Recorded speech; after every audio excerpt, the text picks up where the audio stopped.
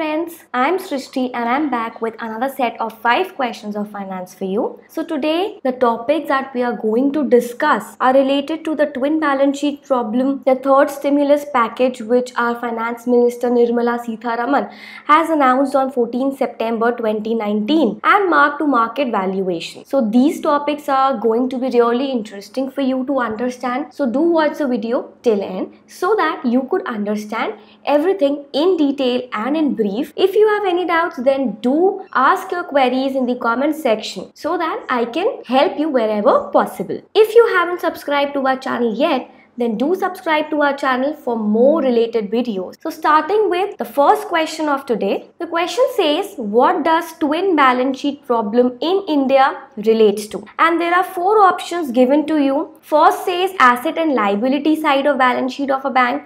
Second is Indian corporations and NBFCs regulated in India. Third is Indian corporations and banks in India.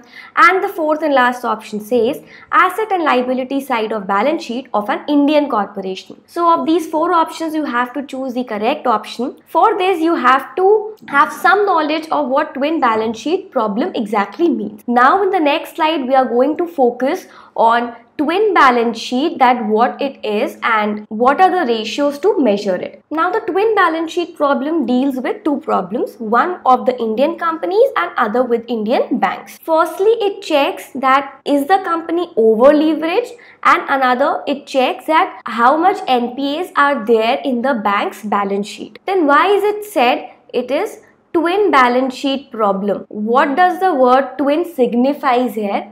So let's focus on this for a few seconds. Through an example, I'll be telling you that what does it mean. Assume that the corporations expand during the boom period by borrowing from the banks. So this is the bank and in the boom period corporations borrow from it thereby making the corporations and over leverage entities. Now they default on their debts leaving bank balance sheets impaired. So are you able to make the sense out of it? That earlier the corporations were borrowing and that made them over leveraged and when they started to default on it, the bank's balance sheet got impaired because NPAs rose in the bank's balance sheet. Now the troubled corporations are reluctant to invest and the remaining sound corporations can't invest much either because the fragile banks these banks are not really in a position to lend to the sound corporations also. So here does the twin word makes sense. Now moving forward, the over leveraged companies are the ones where the debt accumulation on companies is very high and thus they are unable to pay the interest payments on the loans. So two ratios are there to identify the leverage position of the company First is the debt to equity ratio and the second is interest coverage ratio. Now this ratio used to evaluate a company's financial leverage. It is a measure of the degree to which a company is financing its operation through debt versus wholly owned funds that is equity. And the interest coverage ratio, so it is a debt ratio and the profitability ratio which is used to determine that how easily a company can pay interest on its outstanding debt. So it is calculated by the operating profits divided by the interest payments. And the next thing is bank loan encumbered banks that is NPA in the banks make banks cautious about lending as we have already seen in our example. Presently in India there is no such problem because the debt equity ratio also signifies a correct level and interest coverage ratio is also fine at this moment. But still also we can see that the Indian corporations are not willing to invest. So the possible reasons behind it can be economic uncertainty or the demographic dividend which is converting into a demographic liability. After this, now we are in a position to answer the questions that have been asked. So let's move back to the question. The question is what does twin balance sheet problem in India relates to? So as we have seen that it relates to the Indian corporations and the Indian banks. So a correct answer is option C. Now moving to the next question in which two sectors new measures are announced to promote growth and thereby boosting the economy in the third stimulus package announced by Finance Minister Nirmala Sitharaman on 14 September 2019. Now for this you have to have a basic understanding of the third stimulus package. You must be aware of it because only two sectors have been greatly focused upon. So let's see what are the two sectors involved and what are the new measures introduced in them to boost the economy. Now by the word stimulus package what do you mean Stimulus package is a package of tax rebates and incentives which is used by the government of various countries to stimulate the economy and save their country from a financial crisis. In India, three stimulus packages have been there so far. First was announced on 23 August 2019. Second was on 30th August 2019 and here you must remember that mega merger banks were there. That 10 PSUs were merged into 4. And the third stimulus package was announced recently on 14 September 2019 and housing sector and export sector was the main area for the third package. So let's see some of the measures that have been taken into consideration. First is the 20,000 crore fund window. Of this 20,000, 10,000 would come from the government and the government have estimated that roughly the same amount will come from outside investors to provide last mile funding for affordable and middle income housing. So this 20,000 crore fund window could help unfreeze construction in about 70% eligible dwelling units. The next one is ECB that is external commercial borrowings. So ECB guidelines will be relaxed to facilitate financing home buyers who are eligible under the Pradhan Mantri Awas Yojana. The third is interest on house building advance to be lowered. So the interest rates will be lowered and they will be linked with the 10 year GSEC securities or the government sec security yields. So this will encourage more government servants to buy new houses because the major contribution is by the government servants only. So all these measures will lead to a boost in the housing sector. The next sector is the export sector. So introduction of RODTEP. Now what is it? So it is a new attractive scheme for remission of duties or taxes on export production and it will replace the existing merchandise export from India scheme that is also known as MEIS from January 1 2020. Revised PSL norms were also there. So PSL is the priority sector lending. So revised priority sector lending norms for export credit that will release an additional 36,000 crore to 68,000 crore as export credit under the priority sector. The third is fully automatic electronic fund route. So fully automated electronic refund route for input tax credit in GST. It will be implemented by end September 2019 and this is expected to monitor and speed up the ITC funds and thereby it will lead to an increase in the export sector. Now let's move back to the question. Now here we have to identify the two sectors which were talked about in the third stimulus package so our answer is SEPA that is housing and exports as we have seen. Moving on to the next question for today. Mark to market valuation ensures transparency in valuation of security. SEBI has ordered mark to market valuation for all the debt securities with effect from April 1, 2020. Which type of security will be highly impacted by this decision of SEBI? So as you all know, there are various valuation methods to value a security. But recently SEBI has ordered mark to market valuation for all the type of debt securities.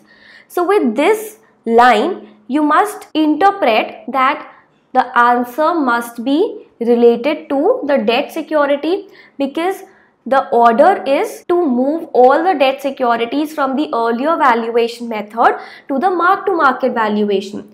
Now you have to identify which of the options is correct. So for this we are going to see the next slide in order to answer our question in a better way without any guesswork. Now there are two types of securities bonds and equity.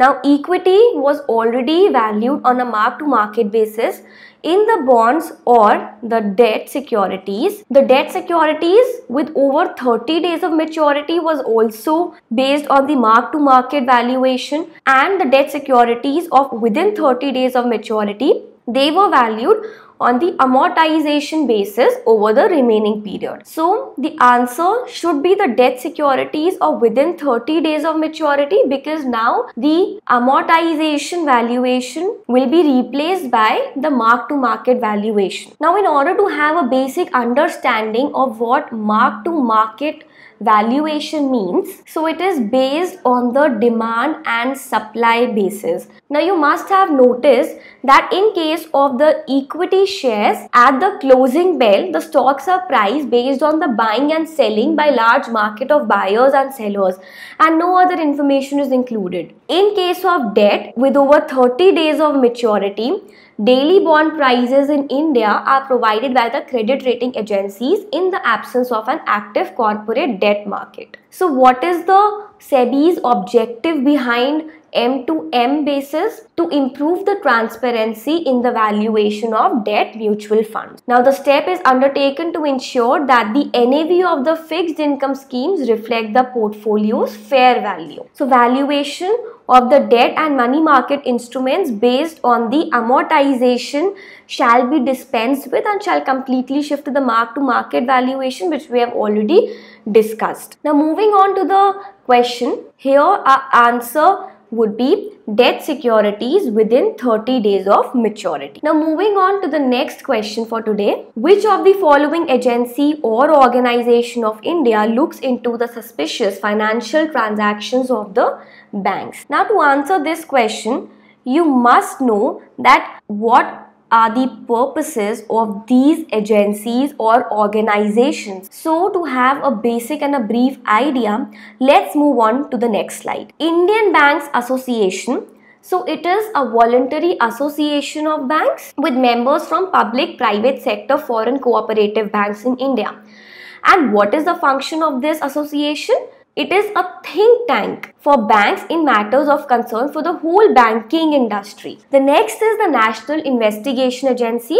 So it is a central agency which is established by the Indian government to combat terror in India. Third is FIU or the Financial Intelligence Unit. So it is a government's nodal agency which processes and disseminates information on suspicious financial transactions. Now with this, you must have got to know the answer of the previous question which is FIU. Now looking at what the CBI's function is, so the agency has been known to investigate several economic crimes, special crimes, cases of high profile. So this is the function of CBI. Now before answering the question, let us have some more knowledge about the FIU and the related part of FIU which is the intermediary accounts which was in discussion in the newspapers recently. Now the intermediary accounts are temporary in nature.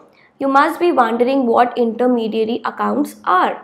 So let's understand this in detail. Now how does this work? Suppose banks receive the checks for clearing. For example, ABC Limited is there and it issues a check to be paid to person X. So ABC's account is to be debited and person's X account is to be credited.